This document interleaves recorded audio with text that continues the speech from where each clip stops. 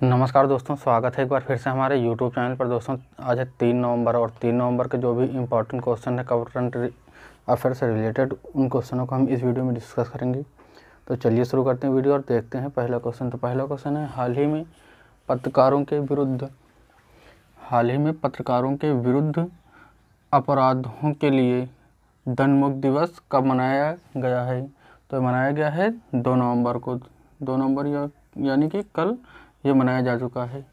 Next question है, हाल ही में उत्तर पूर्व पुस्तक मेले का उद्घाटन किसने किया है? तो उत्तर पूर्व का जो उद्घाटन किया है, वो किया है एम वेंकैया नायडू ने, भारत के उपराष्ट्रपति एम वेंकैया नायडू ने इसका उद्घाटन किया है। नेक्स्ट क्वेश्चन है, हाल ही में कहाँ भगवान राम पर एक डिजिटल संग्रह बनाया गया है?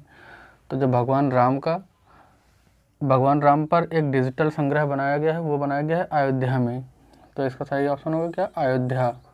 नेक्स्ट क्वेश्चन है, हाल ही में T twenty world cup trophy का अनावरण किसने किया है?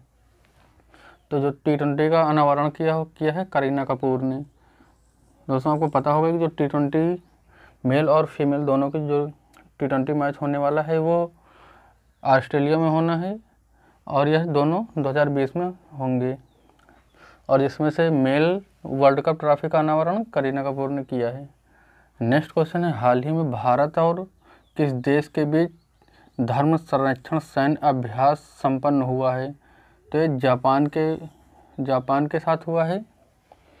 भारत में जो साउथ इंडिया में आतंकवादी से जो कुछ घटनाएँ होने की आशंकाएँ, घटनाएँ होती हैं, उससे बचने के लिए और उनसे निपटने के लिए जापान के साथ भारत ने धर्म, संरक्षण सैन्य अभ्यास संपन्न किया है। नेक्स्ट क्वेश्चन है।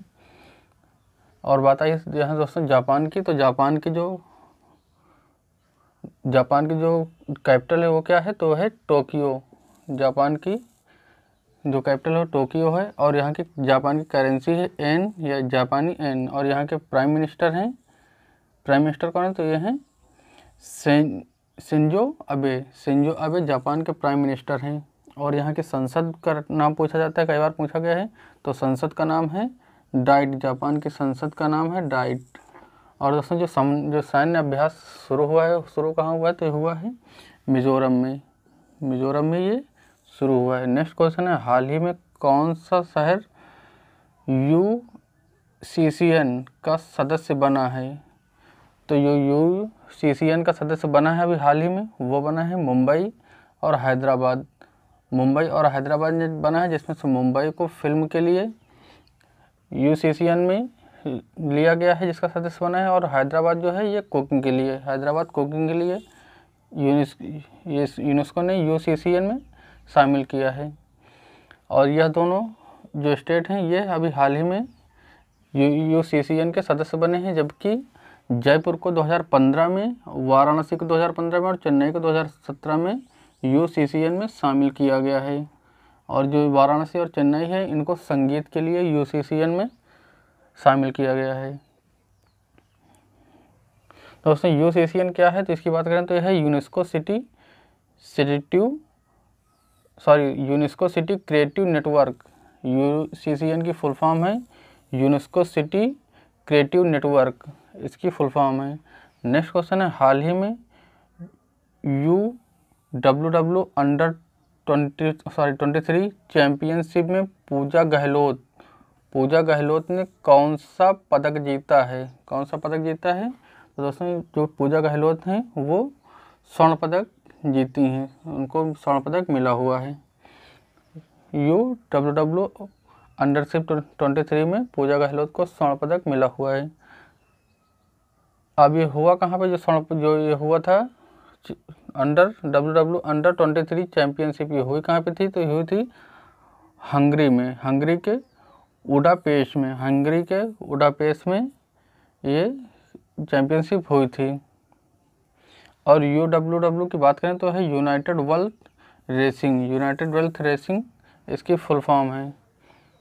नेक्स्ट क्वेश्चन है, हाल ही में गोल्डन जुबली अवार्ड किससे गोल्डन जुबली जो है सम्मान उसे किससे सम्मानित किया गया है? तो गोल्डन जुबली से सम्मानित किया गया है, रजनीकांत को। रजनीकांत को सम्मानित किया गया है। और ये गोल्डन जुबली का कार्यक्रम होगा यह कहाँ पे होगा? तो ये होगा गोवा में। गोवा में होगा, वो भी गोल्डन जुबली का कार्यक्रम, पचासवां कार्यक्रम है ये। पचासवां कार्यक्रम है ये। नेक्स्ट क्वेश्चन है, हाल ही में किस राज्य सरकार ने, किस राज्य सरकार ने गुरु नानक देव जी पुरस्कार देने की घोषणा की है? तो जो गुरु नानक देव जी की पुरस्कार देने घोषणा की है, वो किया है पंजाब सरकार ने। पंजाब सरकार ने गुरु नानक देव की जी के पुरस्कार देने की घोषणा की है, जिसमें से एक सर्टिफिकेट दिया जाएगा। इस इसकी गुरु नानक देव पुरस्कार के अकॉर्डिंग इसके अंतर्गत एक एक सर्टिफिकेट होगा और इसमें ग्यारह लाख रुपए की धनराशि भी होगी।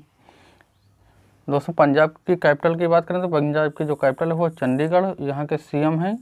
अरविंदर सिंह और यहाँ के जो गवर्नर हैं वह हैं VP Singh Badnore next question हाल ही में इंटरसिफाइड मिशन इंद्रधनुष 2.0 किसने लॉन्च किया है? तो किया है डॉक्टर हर्षवर्धन सिंह ने। डॉक्टर हर्षवर्धन सिंह ने 2.0 इंद्रधनुष लॉन्च किया है। नेक्स्ट क्वेश्चन है, हाल ही में अंतरिक्ष प्रौद्योगिकरण सेल की स्थापना करने की घोषणा किसने की है? तो ये आईआईटी दिल्ली ने किया है। आईआईटी दिल्ली ने किया है। नेक्स्ट क्वेश्चन, हाल ही में किस कंपनी ने पानी बचाने के लिए पुरस्कार जीता है? तो पानी बचाने के लिए जो पुरस्कार जीता है, वो जीता है पेस्को इंडिया ने। पेस्को इंडिया ने ये पुरस्कार जीता है। और पेस्को इंडिया के सीईओ की बात करें तो ये हैं रेमन लेगाटा। रेमन लेगाटा जो हैं, वो हैं पेस्को इंडिया के सीईओ। सीईओ हैं ये। सी ई सीईओ पेस्को इंडिया के हैं रेमन लोगाटा दोस्तों, कल के वीडियो का क्वेश्चन था कि हाल ही में राष्ट्रीय एकता दिवस कब मनाया गया है? तो राष्ट्रीय एकता दिवस जो मनाया गया था, वो 31 अक्टूबर को मनाया गया था। 31 अक्टूबर को राष्ट्रीय एकता दिवस मनाया गया था। दोस्तों, आज की वीडियो का क्वेश्चन है, हाल ही में फीफा हमने इसके बारे में कल आपके साथ काफ़ी डिस्कस किया था। फीफा रैंकिंग में शीर्ष पर कौन रहा है? बेल्जियम ब्राज़ील फ्रांस या चीन? इसमें जो भी सही जवाब हो, आप हमें कमेंट बॉक्स में ज़रूर बताएँ। और वीडियो पसंद आए तो वीडियो को प्लीज़ लाइक करें शेयर करें और चैनल पर पहली बार विज़िट करें चैनल को सब्सक्राइब करें। मिलते हैं नेक्स्ट वीडियो में, तब तक के लिए नमस्कार।